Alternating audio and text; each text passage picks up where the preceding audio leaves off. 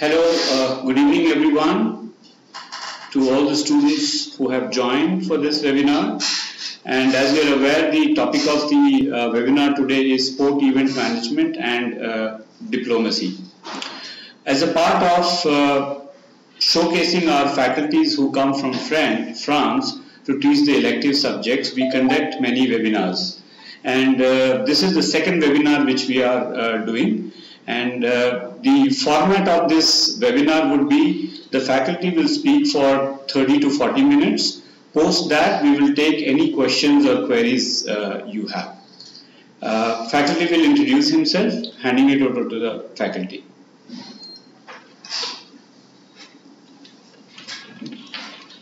Good afternoon, everyone. My name is uh, Julien Montel. Uh, I have uh, an experience and a background in uh, sport management, including uh, working in sport events on the uh, both with the sports movement, including organizing committee, federation, but also working closely with the local authorities and the government. So the conference is about hosting sport events for a city of our country. What are the opportunities and what are the challenges? First, as an introduction, sports is a developing sector, an emerging sector. Almost 800 billion dollars US dollar as an industry in the world. Along the sports sector, the event sector is an important part, a strong component of the industry. But today, I will focus the presentation on what we call international events. An international event is owned by uh, international federation or the IOC. It's owned by the uh, recognized international federation or the International Olympic Committee. And before going in detail into the potential outcomes, I really need to present you the basic ecosystem of an international event. The owner at the top left uh, of the slide, the International Federation, for a specific event will define the requirements. For example, the capacity of the venues, the standard of the hotels for the players. International Federation define also the bid process, how the International Federation will select the host country. And after the bid process, the International Federation will delegate the organization of the event to the host federation. So the relation is between the International Federation and the host federation. For example, in football, it will be between FIFA and the Russian Football Federation. At the center of the ecosystem, you see the host federation.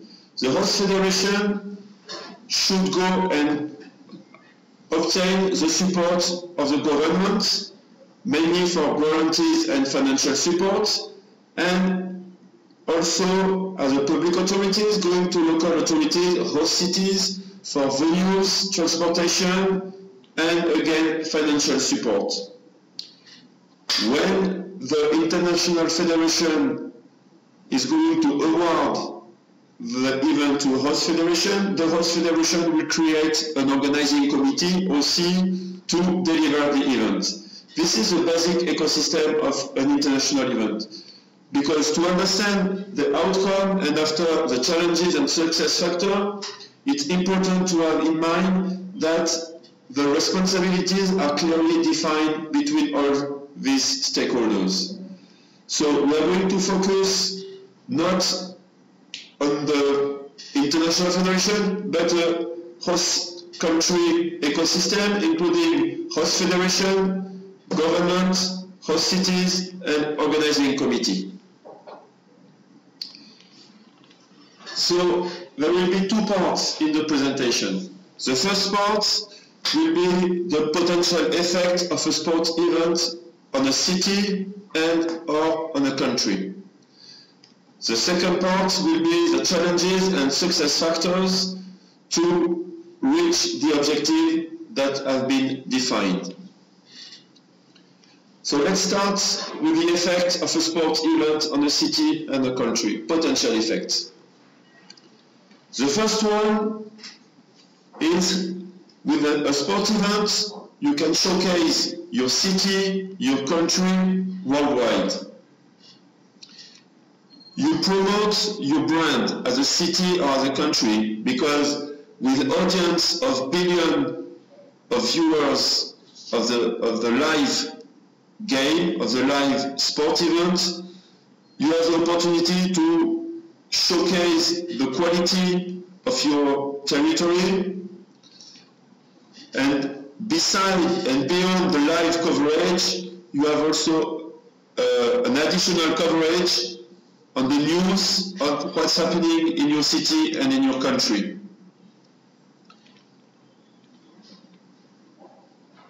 According to the event, of course, the exposure and the audience can change. The two top events are obviously the FIFA World Cup and the Summer Olympic Games. It's also, with the sport events, you welcome and you host tourists. It can be ticket holders, but also some media, some sponsors, some foreign visitors who come in your country. So it's the opportunity for you to make them live an experience in your country and maybe trying to make them come back in the future. The survey in, in all, after many events uh, in New Zealand in 2011 for the Rugby World Cup, in France for the Euro 2016 in football, show that the tourists that came, who came to the country to attend to the sport events, really want to come back in the near future. And the third part is expertise, because when you are organizing an event, all the spotlights are on you. So if you manage to successfully organize the event, you will send a message of reliability, confidence, efficiency to the world. And in the future, you can bid for a new event with a certain advantage because everybody will know that you are able to organize efficiently a sport event, or in a way, the staff who, who worked for the event will be able to sell their expertise abroad, and it will be like an exportation, like export for the city or the country.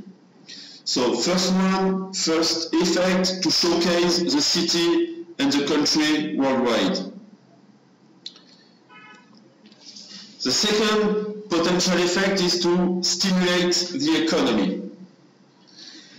Stimulate the economy is the first component in the organization, meaning that to organize an event, you will make, you will work with suppliers, with hotels, with restaurants for your population. So, and um, yes, hotel, but also security companies, entertainment companies, all the, let's say, event sector, uh, economic sector.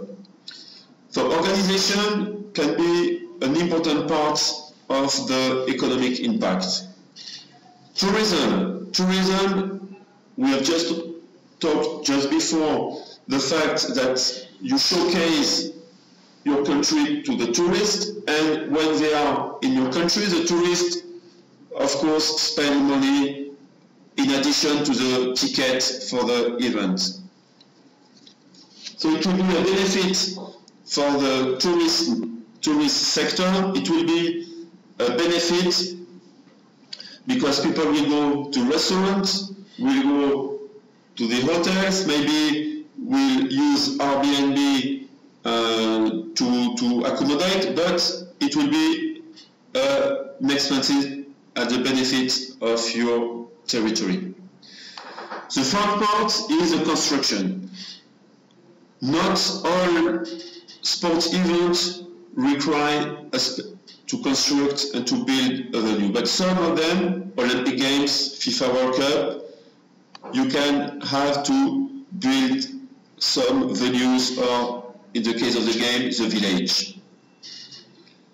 For the challenge to stimulate the economy and to have the maximum impact is on two major factors. The first factor is try to maximize the percentage of the local or national supplier. Try to find local companies for the organization of the games or other events. Otherwise, you will have uh, outgoing flow from your territory at the benefit of external stakeholders. So first one, try to maximize the local supplier. And second one, try to increase and to maximize the percentage of the foreign income. Income coming from foreign tourists, but also from foreign sponsors and from foreign stakeholders, whatever they are. By maximizing the percentage of the local supplier plus the percentage of the foreign income, you will have a maximum impact.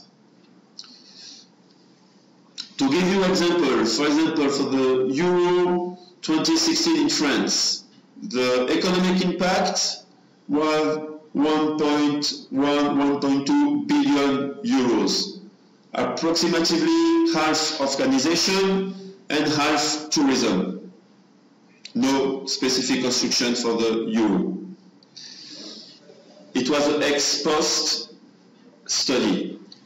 For the Olympic Games in Paris in 2024, the ex ante study presented three scenarios best case scenario, worst case scenario, and average scenario. For the best case scenario, it will be more than 10 billion euros with the majority of the impact coming for the event sector, organization, after tourism and construction.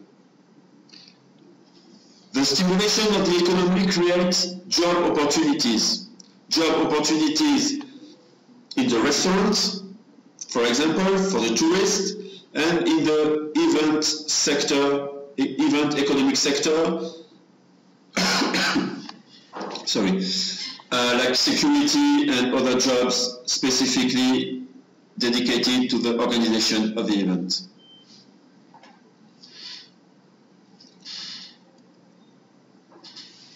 The third impact, so first impact was the promotion of the brand, promotion of the country, showcasing of the country. Second impact, economic. Third impact, social impact. Social impact, the first effect can be the increase in the sport participation. With the sports event and all what can happen before, during and after the event, you have all the assets to develop sport participation. In the sport, for example, if you are hosting rugby, you can hope to have an increase in the rugby participation but more generally in all sports. The Rugby Cup in France in 2007, the increase was quite spectacular for the rugby clubs, with around 20% the next season. the social impact can also be collective. First one, with sport participation, is more individual social impact. The second one could be a powerful leverage for identity and unity. the first example with the photo of Nelson Mandela and François Pienaar is one of the most powerful examples in the world of sports. In 95, after the, the end of the apartheid, the country of South Africa hosted the Rugby World Cup. Rugby in South Africa was the sport of the Afrikaner, of the white people.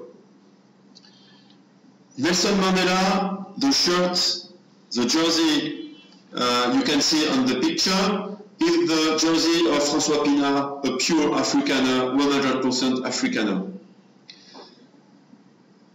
South Africa won the World Cup, and it was one of the first events, the first opportunity to gather all South African all together behind a national team. And because it was the sport of the white, the role of Nelson Mandela was very important in that matter. The second example is London 2012. Some survey, interesting survey, show that in Great Britain, Welsh and Scottish people felt more British than before the games because uh, the pride to have host the game in London and the pride of the result of Team Great Britain, as a consequence, the feeling of belonging to the Great Britain was much higher after the London game than before. A major sport event is also a volunteer program. A volunteer program is one of the cornerstones of an event. For example, in, in the London Games, there were 70, 70, 70,000 volunteers involved in the delivery of the games. So you imagine with this kind of program how you can reach people within your different communities uh, to mix old generation with young generation, to mix different origin, different neighborhood. If you consider the volunteer program as a tool for your social policy, it can be very effective and very efficient. And the last one is how uh, a country is is proud of his national team and as a spontaneous demonstration of national unity. For London, it was more a survey uh, to demonstrate that the people were, felt more British than uh, before the game. In, when you're organizing a, a, um, an event in your country and your country, the team, national team is successful, you can have a great leverage for identity and unity. And last one, last category of effect is how you can transform a neighborhood. The first picture is the former Olympic Stadium in London transformed into the West Ham Stadium for a professional football club. The second photo the top right is the uh, Olympic Village in Buenos Aires for the Youth Olympic Games and with new housing, new accommodation with the opportunity to have affordable uh, rates and affordable price for the local population. The picture at the below uh, bottom left is the Stade de France. Stade de France was built uh, for the FIFA World Cup in uh, 98 and since the opening of the Stade de France there are many positive aspects in the development of the, this part of Paris. And last one, to give you an idea, it's not only about venue, not only about accommodation, it's the airport of Saransk in Russia. So Saransk with the FIFA World Cup, a small but operative airport was built. So now, for a country, for a city, what are the challenges and success factors to maximize the effect? The first one is to be sure to define the permanent needs in terms of infrastructure. It's very important that hosting a sport event must not create a need in terms of infrastructure. Not create the need. The need should be latent, should be there. Hosting a sport event can accelerate the planning, find additional public financing. It's a way also to showcase the venue and to promote the venue in order to attract other events.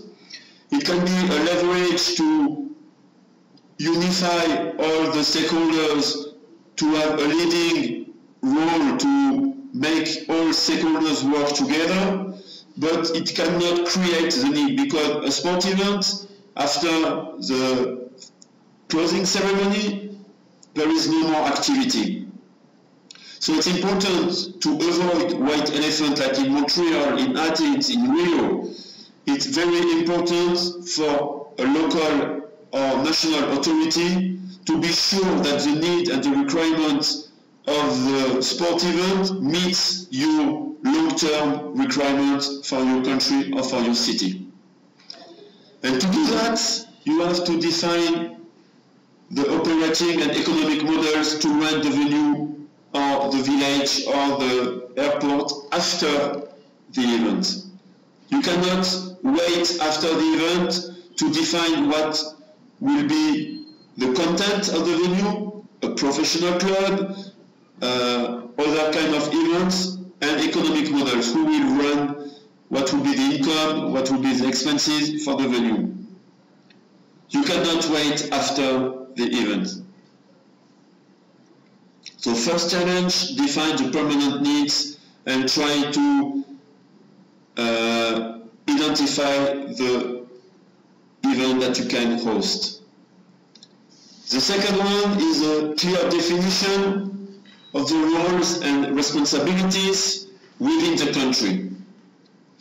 We can say that you have two parts. The first part is to deliver the event.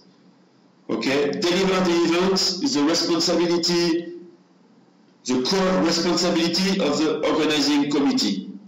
Organizing committee will focus on what's happening inside the competition venue and will deliver the services to the accredited population. Accredited population, it's the teams, the media, the officials, and the referee, for example, and the international federation, all accredited population. Public authority are also involved in the delivery of the events because security outside the venue, transportation outside the venue for the general public, immigration, visa, customs, it, all these functions are part of the delivery of the event, but are the responsibility of public authorities. And so first, the delivery of the event. And regarding the impact and legacy you can have, you have to involve the national federation and the clubs. For example, for handball, for the World Championship in 2017 in France, one of the objectives was to improve and to develop the professional clubs. But if you want to do that, you cannot avoid, you, you, are, you have to make sure that they are on board. And the public authority regarding what we have talked about, about social impact, it's a responsibility of the public authorities to work with the schools, for, for, example, with the Ministry of Education, the Ministry of Health, trying to improve the increase of sport participation with health objectives. So it's very important as a success factor to clearly define who does what in the process of organization.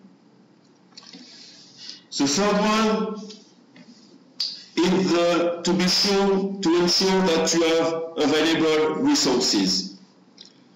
Two main kind, two main category of resources. First is financial resources. During the process, public authorities are giving some guarantees to the international federation. You have to fulfill your commitment. You cannot say, oh, finally, I don't have the resources. You have to respect what you have guaranteed to deliver the event. And the second part is almost like a sponsor. You know, when a sponsor is buying a right, for example, uh, uh, it will be FIFA sponsor, he will pay a certain amount. But for each euro you pay for the right, you have to to anticipate that you will spend at least one euro to activate the sponsorship. It's the same thing for a public authority. You have to have some additional budget to implement additional project and increase the impact. Don't be greedy. If you are greedy, you will not have any significant impact. You have to anticipate the, uh, this need. And it's better to organize one event with additional resources rather than two events without resources. The second category of resources is human resources. Within the public authorities, it's very important to have exper experienced staff dedicated to the event strategy. They will work with the organizing committee, they will work also within the administration, working, for example, with the Ministry of Education, with the Ministry of uh, Culture, within a public uh, local authority with the Department of uh, Tourism. So it's important for a public authority to have a dedicated team, experienced staff that will understand also the global ecosystem. The first success factor is to involve the population. the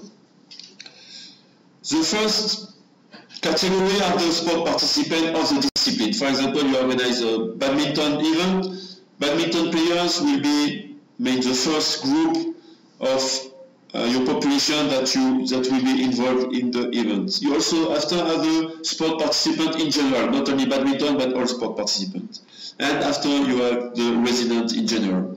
And the opportunity to involve the population, the opportunities are quite wide.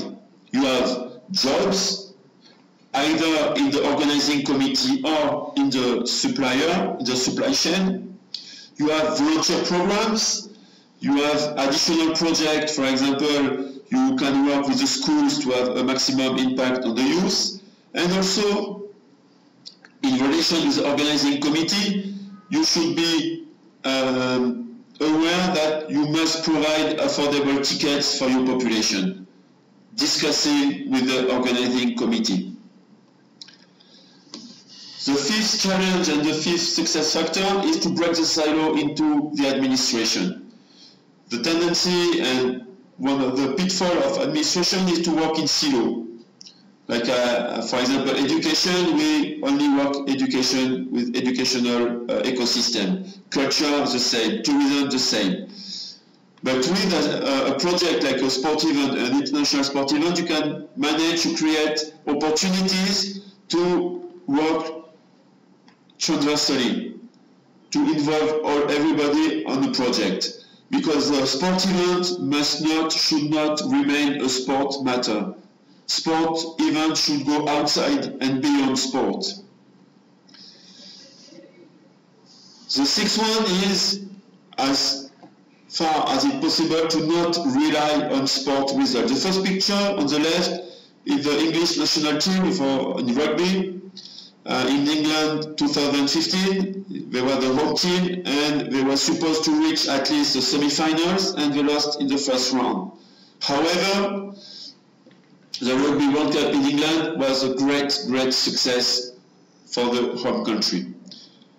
But not really on sport result, but also uh, enjoy when your home team is winning, which is New Zealand in 2011. Because when your home team is winning, the effects are much more higher in terms of unity of uh, involvement, engagement of the population.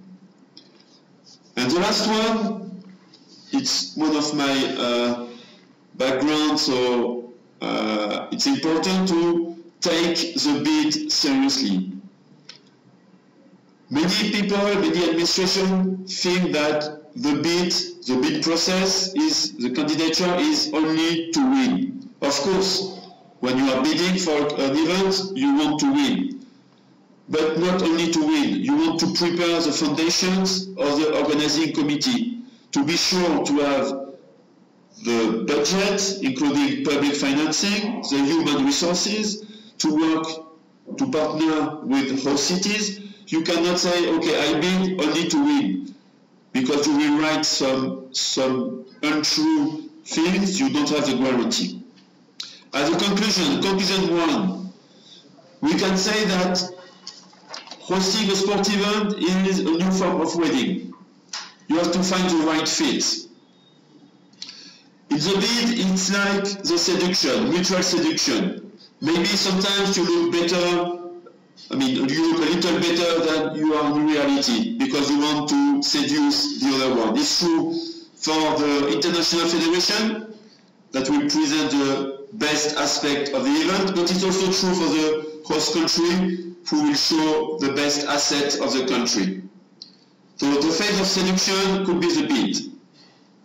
And after the marriage, after the organizing committee was created, we can say that both parties, the host country and the international federation, must love the qualities of the other party. Love the qualities. Uh, host city must love the quality of the event, and the international federation must love the quality of the host city and take benefit of it. But it's also, like in a, in a wedding, in a marriage, you have to accept constraints. International events, you have many constraints, marketing constraints, media constraints. So you have, the whole city should accept, should know the constraint before and accept them. like in a wedding, like in a marriage, you have to build a mutual confidence. You cannot check everything. A whole city cannot track evidence in the regarding the international federation and the same thing. You have some confidence, you have also project management to be sure that everybody is doing what is supposed to do, but you have to build a mutual confidence. In a marriage, you have also you have to share objectives. Here is the same thing, that the successful delivery of the event should be a common objective. and in a marriage, you have to be aware of the difference. The objective of the International Federation, or the objectives maybe are not the same, exactly the same that for the whole city. But you have to know it and to accept the difference, to be aware of the difference. And it's a new form of wedding because at the end of the event, it will be the end. Even if the married is very happy, everybody is happy, there will be a separation at the end. That's the limited time of the wedding. Conclusion two, and it will be the last slide. For a whole city, you should and you must be active, and you should and must be smart. If we, it's uh, it's not a concrete example, it's just to illustrate what I want to say. P is promotion, E economy, S social impact, and U uh, urban development. Without doing, without doing nothing, you will have automatic effects. If the host city is not doing anything, for example, as a host city of the FIFA World Cup, in terms of promotion, of actions, people will come in the city. You will have an economic impact. Your city will be exposed as a worldwide because people in the media will tell the name of your city, will say the name of your city. Okay, so you have automatic effects. But you can have additional effects with, I, I, I've told you before, with resources, human and financial resources, you can find a way to multiply the short-term effect, additional short-term effect in all the aspects, promotion, economy, social and urban development. Also, if you are smart, you can have long-term effects. You can work to, after the event, to uh, be sure to ensure that there will be a legacy, a long-term legacy in terms of brand, of promotion, brand of the city, brand of the country, of economy, of social impact, and of urban development. And be active, be smart can be two qualities for the happy marriage. Thank you for your attention.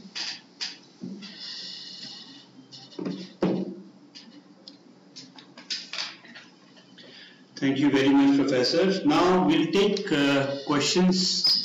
If you have any, you can please post your uh, queries here and we will be more than happy to answer those queries. I will answer any question with regard to admissions in the program and any uh, query or question you have with respect to the presentation, I will request the faculty to address them.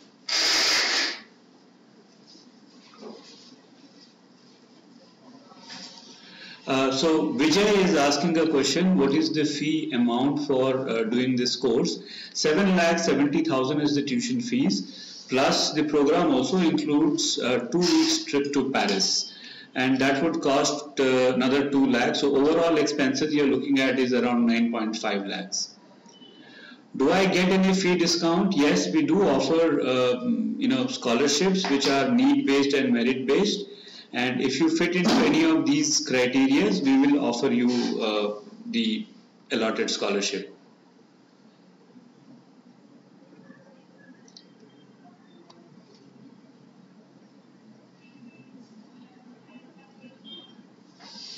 So the next question is, how do developing countries with poor infrastructure organize such big uh, events? So I'm handing this over to the faculty. Uh, it's a, clearly it's a challenge for uh, developing countries to uh, meet the requirements uh, of uh, Olympic Games, FIFA World Cup, because the needs uh, of this country are not so high. For example, in South Africa, you the the soccer, the football ecosystem was not ready to have world uh, class venue to have an economic model. So it's a challenge. It's a challenge, and if the political national politicians are not aware of, of the gap between the requirement and the needs, you will have, like in Athens, in Montreal, you will have a long-term debt because it's not only to, build the facilities, to build the infrastructure, it's also to operate and to maintain. So it will affect definitely the finance in the long term if the gap is too big between the requirements. For example, uh, for FIFA World Cup, you need at least nine and maybe later with 48 teams, maybe 12 stadium. If your football and sport ecosystem without the World Cup doesn't need the stadium, you must not bid for FIFA World Cup.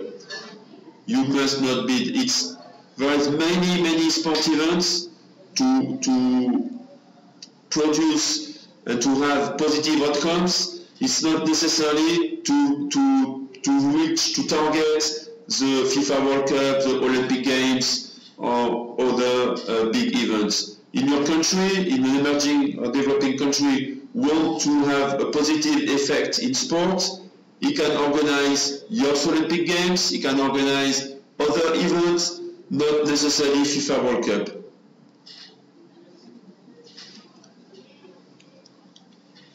Thank you, Professor. I hope it answered your uh, question. Um, if, if you have any more questions, please feel free to ask.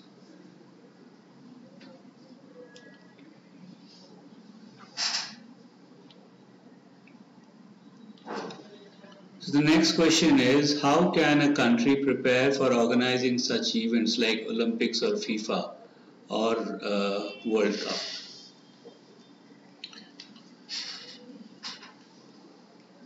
A country, when we say a country, and for example, that was is going on in, in Paris, you can say that the organizing committee will focus on delivering the event.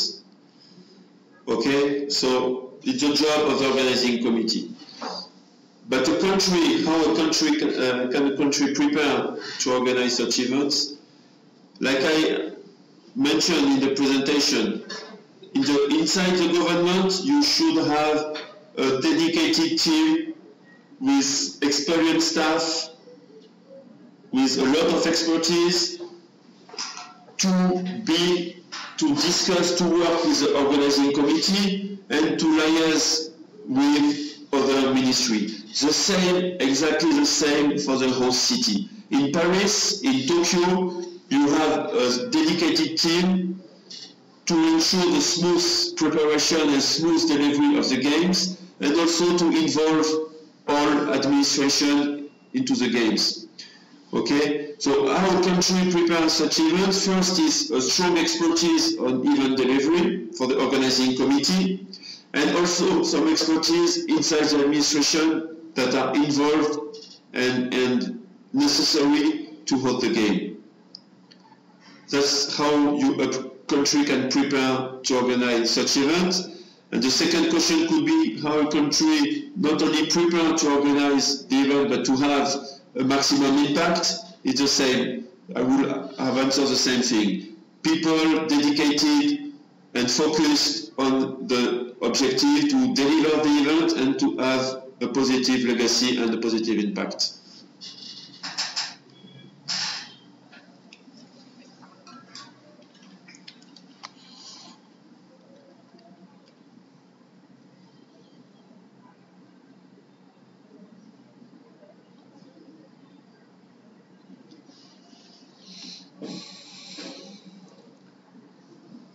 If you have any more questions, please you can go ahead and ask.